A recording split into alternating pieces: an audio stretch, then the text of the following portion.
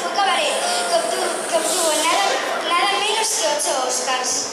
La actuación de los niños y niñas del primero, segundo y tercero del condado estará a la altura de recibir, si no tantas estatuillas, al menos una gran ovación. Este baile os encantará, pero muy atentos debéis de estar. Un fuerte aplauso.